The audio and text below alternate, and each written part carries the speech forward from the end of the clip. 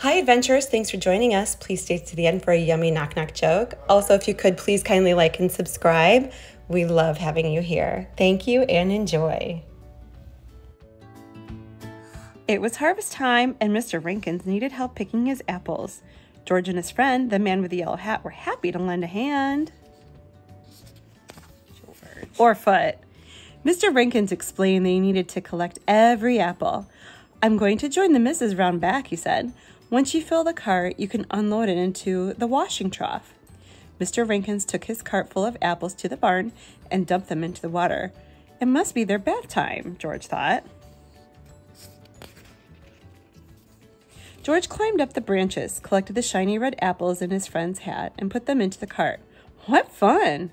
High up in the tree, he saw Jumpy the squirrel picking apples too. George decided to help. He took Jumpy's apple and tossed it into the cart with the rest of Mr. Rankin's apples. But Jumpy wanted the apple for himself. He leaped in to take it back, and George tried to stop him. He thought Jumpy was helping him, huh? Easy now, George. That lever releases all of the apples, said his friend. George looked at the lever. He thought it was an excellent way to get Jumpy out of the cart. George, no! George pulled the lever, and Jumpy tumbled out along with all the apples. That's okay, said his friend with a sigh. We can gather them up again. But Jumpy found his apple and he ran to hide it in the barn. George decided to follow. The man with the yellow hat is very tolerant. George looked around the inside of the barn in wonder. There were all sorts of things to climb on and swing from. It must be some kind of monkey playground. But George was not here to play. He had to get that apple from Jumpy. If only it weren't so dark in the barn. He found the light switch and flipped it.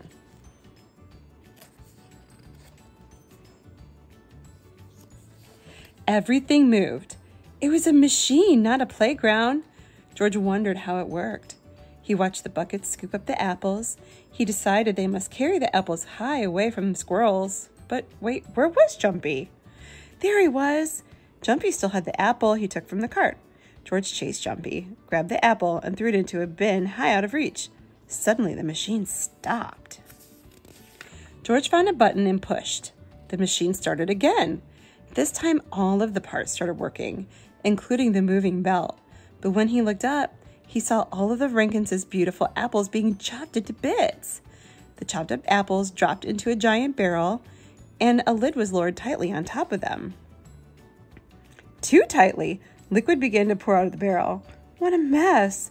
George had an idea. He ran up and put his mouth under the liquid. It tasted good, a lot like apples, but there was too much of it. Luckily, he saw some empty containers. But that'd be so yummy. George scrambled to put the containers on the moving belt fast enough to catch the liquid. Then he looked down at the end of the belt and saw the containers falling onto the floor. Uh oh! George ran to catch them. Then he needed to stop the machine. Soon he had filled all of the containers, but the golden liquid continued to pour out. He looked around for another container and saw a big pair of rubber boots. As the last boot was filled, the liquid stopped pouring out and the machine stopped. Whew! The farmers and George's friend appeared in the doorway. Well, I'll be, Mr. Renkins exclaimed. George froze. The Rinkinsons would surely be upset that he ruined all their apples. George, Mrs. Renkins rushed up to him. You've done a fantastic job. All that cider already pressed and bottled? Thank you. This is some machine, said the man with the yellow hat. See, the apples are washed here, Mrs. Renkins explained. Then they are lifted up to the chopper because chopped apples give more juice. The juice is pressed out of the apples and then bottled. George had not ruined the apples after all, he'd turned them into cider. Mr. Renkins handed an apple to George. Here, you've earned it, he said. George knew someone who wanted the apple more than he did. He'd had enough apples for one day. You went to the assembly line? When George accidentally turned on the cider press, he learned how cider is made. In each step, a different part of the machine performs a specific task. And when all the steps are put together, the end result is bottled cider. This process is called an assembly line. Assembly lines allow companies to make their products faster, cheaper, and more evenly.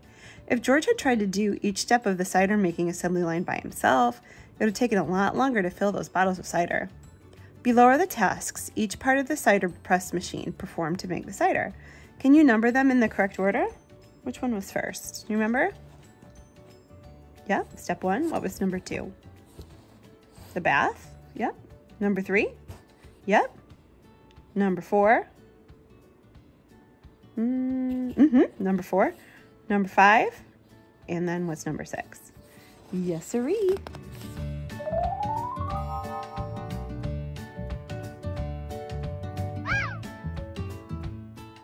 Knock, knock. Who's there? Bologna. Bologna who? Bologna sandwich with mayo and cheese, please.